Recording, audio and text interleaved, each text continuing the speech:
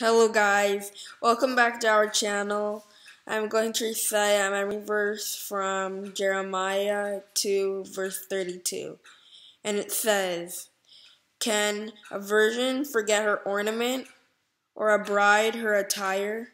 But my people have forgotten me days without number. So the message for you today is, we should always remember God our Creator. Thank you for listening. Subscribe right here. And watch more of our videos right here. And see you in our next video. Have a happy day.